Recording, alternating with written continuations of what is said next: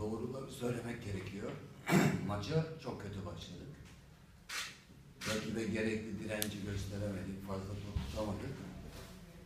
Bu dönemde çok basit iki tane gol yedik. Yani bir takımın, bizim gibi bir takımın yememesi gereken iki tane basit gol yedik. Inter bir takıma karşı iki gol yemek, bunu çıkarmak, skoru yakalamak hiç kolay değil. Bunun yanında ikinci yarıya başlarken Rauf'un sakatlığından dolayı onu dışarı çıkararak iki değişiklik yaptık ve daha büyük risk alarak rakibe kendi sahasında baskı yapmak, kendi kalemizde gol görme riskini göze alarak maçı 2-1'e getirme adına ve bu ikinci yarının başında hemen bir gol bulma adına çok ciddi bir baskı yaptık. Üçüncü gol gelene kadar ki bu 75 gibi zannedersem çok ciddi baskı yaptık ve çok sayıda gol pozisyonuna girdik. Tek amacımız 2-1'i daha sonra 2-2'yi yakalamaktı. O periyottan son derece memnunum. Memnun olmadığım tek şey gol atamamamız.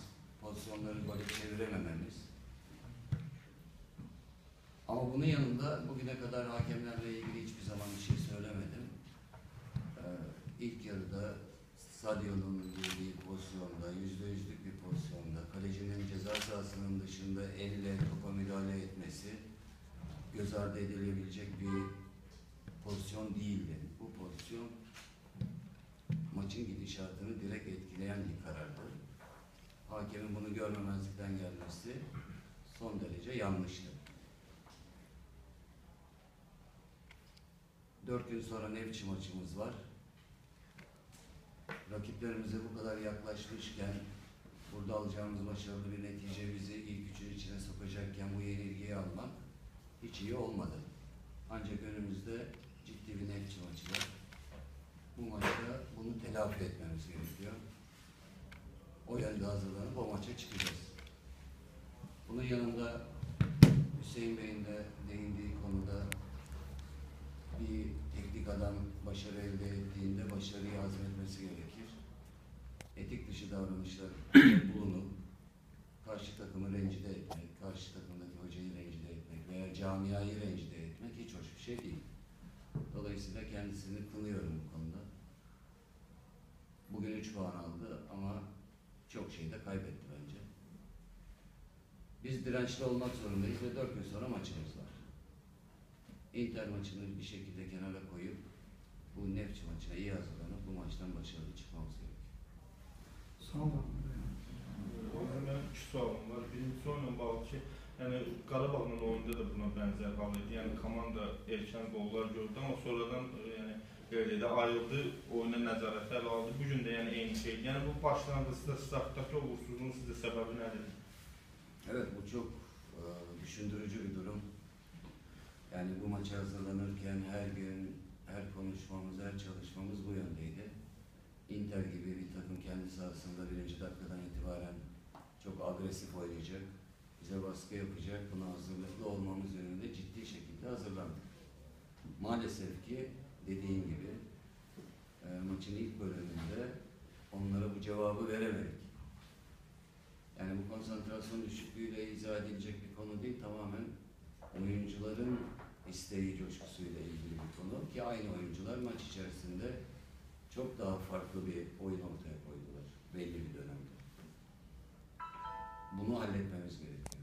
Çünkü oynadığım bir deplasman maçında böyle basit goller yemek ve bunları çıkarmak son derece zor oluyor. Kaldı ki Inter gibi bir takımın savunma anlayışı bu kadar güçlüyken onlara iki gol yemek, basit gol yemek ve bunu çıkarmak daha da zorlaşıyor. Ortadaki gerçek e, savunma açısından e, çok ciddi hata yapıyoruz ve gol yiyoruz. Bunu telafi etmek için de çok büyük efor sarf ediyoruz. Gol pozisyonlarına da girdik. İnanın bana maç 60. dakikaya kadar 2-1'e gelseydi daha farklı olacaktı. Maalesef 2-1'i yakalayamadık. Bir də hocam bu hücumçu məsələsinə bağlı, yəni biz daha əvvəl də siz mətbuat testindən soruşdunuz, demişsiniz ki, yəni problem yaşamayacaq. Yəni e, oyunçularımız var, vəziyyətdən çıxacaq. Amma düşünmürsünüz ki, yəni bu gün görsənir ki, Xəzərlənkiranda yəni hücumçu problemi var. Məsələn, Rauf əvəzləndi çıxdı, ikinci sıra demək olar ki, komandanın nominal hücumçusu oynadı. Dikkat ederseniz biz genelde maçlarımızda çok ofansif 11 ile çıkıyoruz. Kadromuzda forvet oynayabilecek oyuncu sayısı çok fazla. Ama konu forvet oynayan oyuncular değil, gol atan oyuncu. Yani bu konuda Rauf'tan istediğimiz beklentiyi elde edemesek de diğer oyuncularda da aynı sorun yaşanıyor. Bugün Sadio'nun pozisyonları var, birçok oyuncunun pozisyonları var. Buradaki bizim en büyük eksiğimiz forvet oyuncuların gol noktasındaki becerisi. Bunu devre arasına o kadar bu şekilde taşımak zorundayız ki devre arasında bu konuda da e, gerekeni yapalım. Sen de oğlum. Buyur hocam. Ha, Nildon'u siz göndərdiniz komandada və Nildon sizi bugün cəzalandırdı. Peşman değilsiniz. Nildo bizi cezalandırmadı. Nildo kendi takımına katkı sağladı. Nildo geçen seneden itibaren bizim Lenkaran takımımızda yıpranmıştı. Hem camia tarafından hem Azerkeşler tarafından hem takım içerisinde. Ben ona rağmen sezon başı çalışmalarına kendisini aldım ve Erzurum Slovenya çalışmalarında çok ciddi çalışmalar yaptı. Ancak Bakü'ye döndükten sonra yine aynı şeyleri yaşamaya başladık ve karşılıklı konuşarak o kararı aldık. Bize faydalı olamayacağını ama gideceği herhangi bir takımda yeni bir sayfa açıp orada başarılı olabileceğini konuştuk ve o şekilde karar. Çünkü bize bir katkı sağlamıyordu. Kendisi de bunun farkındaydı. Hani şimdi giden oyuncu için şundan şundan dolayı gönderdim demek istemiyorum ama bize katkı sağlamıyordu. Buyur. Oğuz bəy, komandaya futbol oynatmağa çalışırsınız, amma Xəzərlənkələr nə vaxt topu özündə saxlayıb futbol oynamağa çalışdı, uduzur. Bəlkə bu fikrinizdən vaz keçib komandaya qələbəyə qələbəsi oynayasınız. Biz hücum futbolu oynuyoruz. Top bizde daha fazla kalıyor. Tamam. Gol pozisyonlarına da gidiyoruz. Bizim sıkıntımız gol noktalarında zaman zaman ortaya çıksa da ki son 5 haftadır bunu çözmüştük. Daha çok savunma zafiyeti ediyoruz. Yani bugün kaybettiğimiz puanların her birinde rakibin üstün becerisinden ziyade bizim savunma zafiyeti göstermemizden dolayı goller geriye düştük veya puan kaybettik. Dolayısıyla benim daha çok üzerinde durduğum takım savunmasını daha iyi hale getirebilmek. Bəy, pis oynadığınız oyunları udursunuz, yaxşı oynadığınız oyunları uduzursunuz. Bunu demək istəyirəm mən. İyi oynadığınız maçlar kaybediyorsunuz ama kötü oynadığınız maçlar kazanırsınız. Futbolda bir gerçek var. Takımınız ne kadar iyi olursa olsun pas oyununu, top hakimiyetini, gol pozisyonlarına girmeyi ne kadar çok becerirse becersin. Futbolun iki yönü var. Savunma yönünü çok iyi oynamadan bunu yapamıyorsunuz. Bizim savunma yönünde ciddi zaaflarımız var. Bugün bunu yine gördük. Bütün çalışmalarımız oyuncuların konsantrasyonunu yükseltmek, bireysel hataları minimuma indirmek ve birlikte savunma yapmak.